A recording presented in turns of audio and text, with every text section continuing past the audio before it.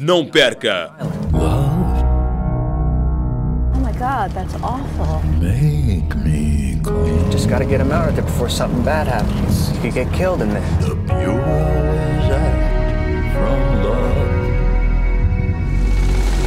Damned always act. You need another 10 grand. You get another 10 grand, your brother will get out.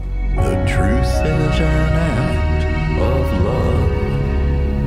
something very important is happening and it's deeply connected to my purpose. Every day I think about untwisting and untangling these strings I'm in to lead a pure life. Look ahead in a clear sky. Aqui na CTV.